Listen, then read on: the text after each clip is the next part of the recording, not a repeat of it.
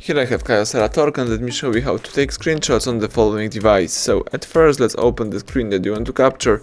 In my case it could be simply the calendar and let's just assume that I want to save the following screen. So all I have to do is use this combination power key and volume down. Let's hold down together these two keys just for about 42 seconds and as you can see and hear the device just took a screenshot. So let me show you again. Let's hold down together power key and volume down. And let's hold down these two keys simultaneously.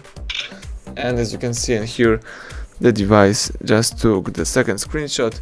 So that's it. Now if you would like to share edit or delete taken screenshots let's open the upper bar and choose screenshot captured. Or you may also accomplish that by using your home screen. Tap apps icon find and select the gallery from the gallery let's choose the screenshot folder and now you can choose your screenshot and share, edit, delete or do whatever you want with the following pictures. So that's it, everything went well, thank you for watching, please subscribe our channel and leave thumbs up under the video.